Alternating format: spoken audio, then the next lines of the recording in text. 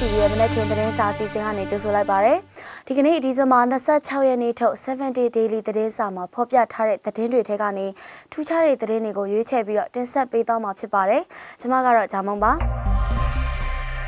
ပထမဆုံးရွေးချယ်ထားတဲ့သတင်းကဘူးတီတောင်မြို့နယ်မှာလက်ထောက်ညွှန်မှုအပါအဝင်လာဝကဝန်ထမ်း3ဦးကိုအေးအေးကဖမ်းဆီးတဲ့သတင်းမှာ ရခိုင်ပြည်နယ်ဘူးတီတောင်မြို့နယ်တောင်ပဇာနယ်မြေရုံးမှာတာဝန်ထမ်းဆောင်နေတဲ့လူဝင်မှုအကြီးကျယ်ရေးဦးစီးဌာနလက်ထောက်ညွှန်မှုအပါအဝင်လာဝကဝန်ထမ်း3ဦးကိုရခိုင်လက်နက်ကိုင်အဖွဲ့ AA ကဒီဇင်ဘာ24ရက်မှာဖမ်းဆီးခဲ့တဲ့အကြောင်းကိုပြည်ထောင်စုဝန်ကြီးဌာနကသတင်းထုတ်ပြန်ပါတယ်။တောင်ပဇာနယ်မြေရုံးမှာတာဝန်ကျနေတဲ့လက်ထောက်ညွှန်မှုဦးတင်မျိုးအောင်ကခွင့်ပြန်လာလို့ လက်ထောက်လဝကမူဦးအောင်ကျော်ဖြိုးနဲ့လက်ထောက်လဝကမူဦးမျိုးဆွေဦးတို့ကဘူးတီတော်ကိုတွားပြီးတော့ကြိုဆိုခဲ့တဲ့အကြောင်းသူတို့၃ဦးကတခြားခရီးသည်15ဦးနဲ့ဘူးတီတောင်ကနေတောင်ပစာကိုဆက်လေနဲ့လာရောက်တဲ့အချိန်မှာဖမ်းဆီးခံရတာဖြစ်တဲ့အကြောင်းကိုထုတ်ပြန်ချက်မှာဖော်ပြထားပါတယ်တမတော်ပြောရေးဆိုခွင့်ရှိသူဗိုလ်မှူးချုပ်ဇော်မင်းထွတ်ကမနေ့ကနေ့လယ်2နာရီလောက်မှာ အဲ့ဒီပေါ်မှာခရီးသည်18ဦးပါတယ်အေးအေး9ရောက်လောက်ကဘူးသေးတောင်နဲ့တောင်ပစာချားမှာရှိတဲ့ကြောက်ရရွာလေးနားမှာကန့်ကတ်ခိုင်းပြီးတော့ဝန်ထမ်း3ယောက်ကိုဖမ်းဆီးသွားတာလို့ပြောပါတယ်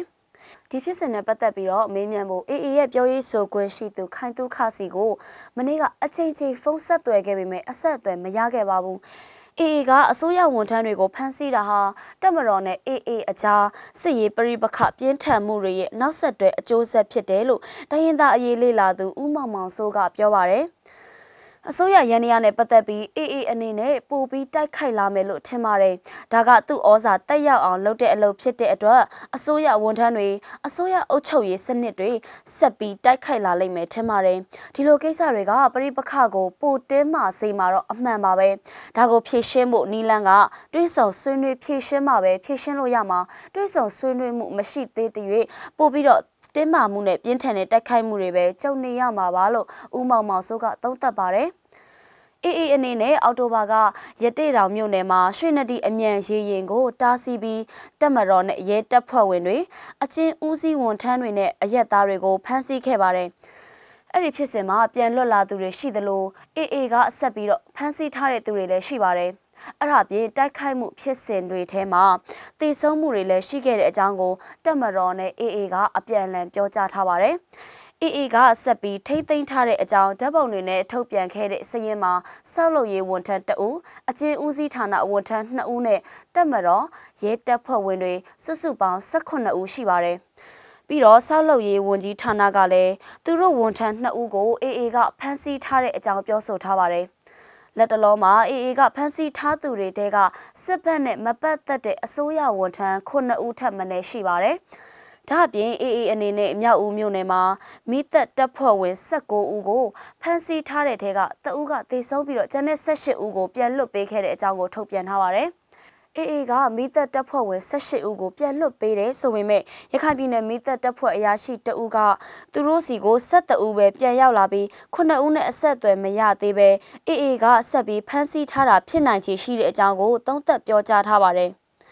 ဒီပြောဆိုချက်အပေါ်အေးအေးပြောရေးဆိုခွင့်ရှိသူက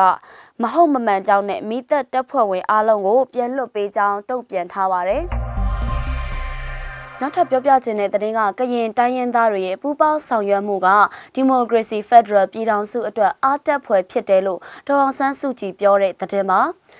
ဒီမိုကရေစီဖက်ဒရယ်ပြည်ထောင်စုတည်ထောင်နိုင်ရေးခိုင်မာတဲ့လမ်းကြောင်းတစ်ခုလက်တွေ့ကျကျဖော်ဆောင်နိုင်ရေးကရင်တိုင်းရင်းသားတွေကအစိုးရနဲ့အတူကြိုးပမ်းဆောင်ရွက်တာကအတက်ဝမ်းမြောက်ဖွယ်ဖြစ်တဲ့အကြောင်းနိုင်ငံတော်ရဲ့အတိုင်ပင်ခံပုဂ္ဂိုလ်ဒေါအောင်ဆန်းစုကြည်ကပြောပါရယ် ပြည်တွင်းစစ်ရဲ့အဆိုးကျိုးတွေကိုဆယ်စုနှစ်ပေါင်းများစွာအပြင်းထန်ခံစားခဲ့ရတဲ့မြန်မာနိုင်ငံဖွံ့ဖြိုးတိုးတက်ရေးအတွက်ရေရှည်တည်တံ့ခိုင်မြဲတဲ့ငြိမ်းချမ်းရေးကိုမဖြစ်မနေရယူဖို့လိုအပ်ကြောင်းတခြားပြည်သူပြည်သားတွေလိုမျိုးကရင်တိုင်းရင်းသားတွေကလည်းဘဝဖြတ်သန်းမှုနဲ့ရင်းပြီးသိမြင်နားလည်ပြီးဖြစ်ကြောင်းကိုတဝက်လွှာမှာပါရှိပါတယ်။ ကရင်တိုင်းရင်းသားတွေကအမျိုးသားပြည်လဲတင့်မြတ်ရေးနဲ့ပြည်ထောင်စုငြိမ်းချမ်းရေးပန်းတိုင်ဖြစ်တဲ့ဒီမိုကရေစီဖက်ဒရယ်ပြည်ထောင်စုကိုရှောက်လန်းရမှာလမ်းတစ်လျှောက်မှာပြည်ထောင်စုတီထောင်ဘက်တွေအဖြစ်အေးအတူပူအမျှရှောက်လန်းနေတဲ့အကြောင်းကိုနိုင်ငံတော်အတိုင်ပင်ခံပုဂ္ဂိုလ်ကပြောပါတယ် ကရင်တမျိုးသားလုံးနဲ့အတူတိုင်းရင်းသားညီကိုမောင်နှမတွေအားလုံးစည်းလုံးညီညွတ်ခြင်းပျော်ရွှင်ခြင်းတွေနဲ့အတူအနာဂတ်မှာကောင်းမွန်တဲ့လူအင်ဆန္ဒတွေပြည့်စုံကြပါစေလို့နိုင်ငံတော်အတိုင်ပင်ခံပုဂ္ဂိုလ်ရဲ့သဝန်လွှာမှာဖော်ပြထားပါတယ်။ကရင်တိုင်းရင်းသားတွေရဲ့နှစ်သက်ကူပွဲတော်ကိုနှစ်စဉ်နှစ်တိုင်းပြတိုလဆန်တရက်မှာကျင်းပလေးရှိပြီးတော့အခုနှစ်က2959နှစ်မြောက်နှစ်သက်ကူတာဖြစ်ပါတယ်။ကရင်တိုင်းရင်းသားအမျိုးသားလွှတ်တော်ဥက္ကဋ္ဌမန်ဝင်းခိုင်တန်းကကရင်အမျိုးသားနှစ်သက်ကူနေ့ကကရင်တမျိုးသားလုံးနဲ့သက်ဆိုင်တဲ့နေ့တူနေ့မြတ်ဖြစ်တဲ့အကြောင်းအခုနှစ်ကရင်နှစ်သက်ကူနေ့အတွက်သဝန်လွှာပေးပို့ပါတယ်။ ပထမဆုံးကရင်အမျိုးသားနှစ်သက်ကူးနေ့အတန်လွင်မိန်ကိုမှာဖော်ပြပါရှိတဲ့အတိုင်းကြောက်ရွံ့ခြင်းကအကင်းဝေးကြပြီးတော့ကရင်အနာဂတ်နဲ့ကရင်ကံကြမ္မာကိုကရင်တို့ကိုယ်တိုင်ဖန်တီးနိုင်ကြဖို့အလွန်အရေးကြီးလှပါတယ်လို့သူ့ရဲ့တဝန်လွှာမှာဖော်ပြထားပါတယ်။ စစ်မှန်တဲ့ဒီမိုကရေစီဖက်ဒရယ်ပြည်ထောင်စုပေါ်ပေါက်လာရေးကမြန်မာနိုင်ငံမှာရှိတဲ့တိုင်းရင်းသားလူမျိုးအားလုံးရဲ့အနာဂတ်ပန်းနိုင်ဖြစ်ပြီးတော့ကရင်တိုင်းရင်းသားတွေအနေနဲ့ဒီကိုဆွဲညံဆွဲရှိသမျှတာဝန်ယူမှုတာဝန်ခံမှုအပြည့်နဲ့စ조사စွမ်းဆောင်ပေးဖို့မန်ဝန်းခိုင်တန်းကတိုက်တွန်းပါတယ်။ နောက်ထပ်ပြောပြခြင်းတဲ့သတင်းကတက္ကသိုလ်သင်ယူညွန်းတန်းတွေစတင်ပြောင်းလဲမဲ့သတင်းမှာအခြေခံပညာရေးစနစ် KG+12 နဲ့လက်ရုံညီထွေဖြစ်စေဖို့တက္ကသိုလ်သင်ယူညွန်းတန်းတွေကိုစပြီးပြောင်းလဲမှာဖြစ်ပြီးတော့တက္ကသိုလ် Degree College College တွေထဲကတက္ကသိုလ်18ခုကိုကိုပိုင်သင်ယူညွန်းတန်းတွေရေးဆွဲခွင့်ပြုမှာဖြစ်တယ်လို့ပညာရေးဝန်ကြီးဌာနပြည်ထောင်စုဝန်ကြီးဒေါက်တာမျိုးသိန်းကြီးကပြောပါတယ် ဒီဇင်ဘာ20ရက်ကရန်ကုန်တက္ကသိုလ်ရာပြည့်အထိမ်းအမှတ်နဲ့မြန်မာစာဌာနတည်ထောင်တာ88နှစ်မြောက်အထိမ်းအမှတ်ဆရာကြီးဦးဖေမောင်တင်ကြေးရုပ်ဖွင့်ပွဲအခမ်းအနားမှာပြောကြားပါရယ်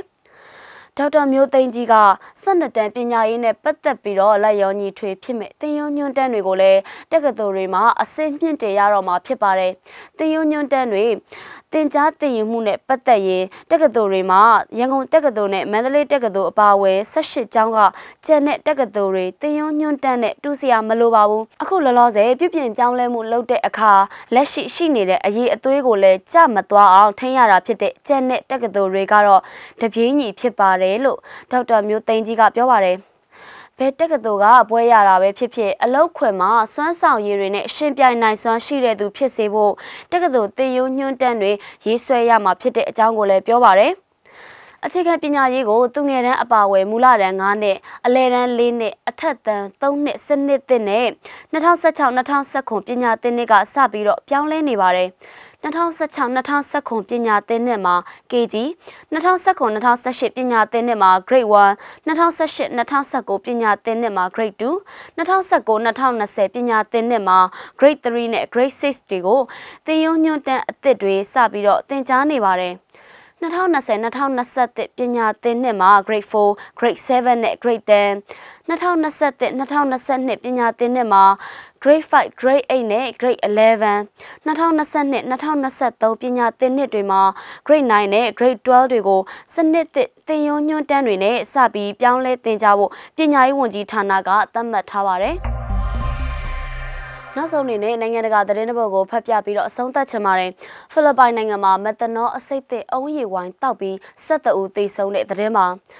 ဖိလစ်ပိုင်နိုင်ငံမှာမက်သနောအဆိပ်သင့်အုံးရည်ဝိုင်းတောက်သုံးပြီးတဲ့နောက်အနည်းဆုံး12ဦးသေဆုံးပြီးတော့ရာနဲ့ချီတဲ့သူတွေနာမကျန်းဖြစ်ခဲ့ပါတယ်။ကျန်းမာရေးထိခိုက်လောက်အောင်မက်သနောပါဝင်တဲ့အုံးရည်ဝိုင်းတွေကြောင့်12ဦးသေဆုံးပြီးတော့265ဦးကနာမကျန်းဖြစ်တဲ့သတင်းတွေကြောင့်ထိတ်လန့်တုန်လှုပ်ခဲ့ရတယ်လို့သမရယုံပြောရေးဆိုခွင့်ရှိသူ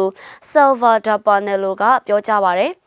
ပြည်သူလူထုအနေနဲ့သူတို့ဝယ်ယူတဲ့အရက်နဲ့တခြားစားတောက်ဖွယ်ရာတွေကိုအစိုးရအစားအစာနဲ့ဆေးဝါးအဖွဲ့ FDA ကခွင့်ပြုထားသလားဆိုတာကိုကြည့်ရှုဖို့မိမိတို့တတိပေးလိုတယ်လို့ပြောရေးဆိုခွင့်ရပုဂ္ဂိုလ်ကပြောပါရယ်ဖိလစ်ပိုင်ကျန်းမာရေးဝန်ကြီးဖရန်စစ်ကိုကလည်းအုံးရီဝိုင်ချက်လုတ်သူတွေအနေနဲ့ဝိုင်းမှာမက်သနောပါဝင်နာကိုဂယုစိုက်စောင့်ကြည့်ဖို့တိုက်တွန်းပြောကြားပါတယ်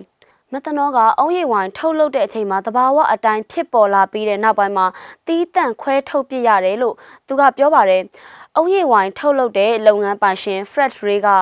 အာနာပိုင်တွေစီကိုအဖမ်းခံပြီးတော့တည်ဆုံးတဲ့သူတွေကိုကုန်ကြစရိတ်ပေးဖို့လဲကတိပြုပါတယ်။ လာကူနာနဲ့ကွီဆုံပြည်နယ်တို့ကအဲ့ဒီအုံးရီဝိုင်ရောင်းချတာကိုပိတ်ပင်ခဲ့ပါတယ်။ဖိလစ်ပိုင် FDA က